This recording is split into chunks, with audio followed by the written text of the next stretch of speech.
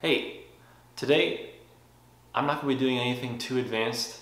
I'm going to be only looking at just your everyday household Sharpie, um, no, no, fancy science. Um, but of course they come in all different shapes and sizes and colors too. Um, this is a Sharpie Magnum I have. And when you open these and smell them, then, you know, I think most people think that they smell like chemicals, just kind of like a blank term.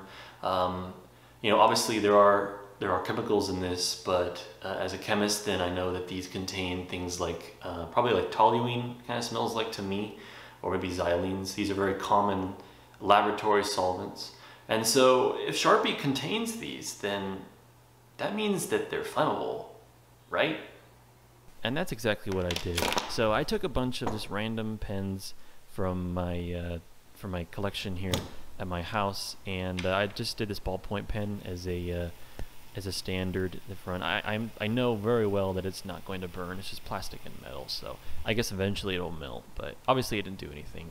Uh, so then I moved on to the classic Sharpie, um, and I didn't really think it would do too much, but it actually it actually burns quite well. I mean, it, would, it burns a little bit more intensely than just like a regular candle, um, which kind of blew my mind. I mean, as a kid, then um, I, I, would have always wanted to, to, to, light a Sharpie on fire, but I guess I never got the opportunity to. Um, so now I moved on to my Magnum Sharpie, which uh, I like a lot. It, I've, it, has been in my house since I can remember, so I didn't want to destroy this one.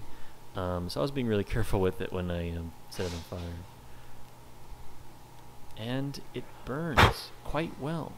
Um, so then I, I took the uh, the smaller Sharpie and I wanted to extract the part of the Sharpie that contains all that ink and all that solvent and I proceeded to basically kind of milk the um, milk that dark black um, liquid out of that like it's kind of like a plastic tube basically um, and I got like this syrupy black substance that when I tried to light it on fire, it actually lit. So you can kind of see a small blue flame in there. And this was super surprising to me because, I mean, that means there's quite a bit of solvent in there.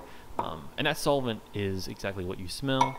That's what allows uh, the Sharpie to um, have all those dark pigments that are kind of dissolved in that plastic foam uh, tip. Um, and here's me adding acetone uh, to that substance to try and redissolve it back into a solution. And yeah, that acetone is um, pretty dark now. Um, and when I add a paper towel to it, then uh, you can see that the paper towel, of course, gets nice and stained. And Sharpie, I don't know if you knew this, but Sharpie is actually like a dark purple color um, in essence. It always looks black to us, but that's how it is. Um, I also wanted to test just to see if there's anything else going on, so I took a regular paper towel um, tried burning it, see how well it would light. It didn't light very well. And so then I took paper towel that was doused in the uh, ink from the Sharpie just to see if it would burn at maybe a higher rate or something, but it did not. Um, so that uh, felt kind of conclusive to me that it was definitely the solvent, not the ink, which I, that's what I expected completely. Um, and then I had a bunch of acetone in a beaker, and what else am I going to do besides uh, burn it? Um, I was also kind of curious if maybe the actual appearance of the ink on the side of the glass might change as it got hotter. Now acetone doesn't really burn at really high temps at all. In fact, you can put it on your hand and it will burn on your hand, your bare skin, uh, for some time before it starts to hurt. But um, regardless, it was really just the acetone in this case that was burning, um, and the ink just kind of stayed behind in the glass. Um, you can see kind of the bottom here. It's just, just black and kind of iridescent too. Um, and to further show that the ink is uh, requires acetone or like a, an organic solvent to be dissolved into the pen, I um, poured acetone into this uh, graduated cylinder and I just dipped the uh, broken off piece of the Sharpie into that to show how easily um, easily that purpley uh, black ink can be dissolved in there. Um, pretty easy. Pretty easy.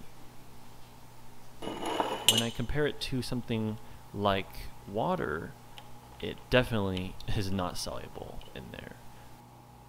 And then I just had this Sharpie that I had already ruined, so I decided to extract the, uh, the ink housing unit uh, from that one.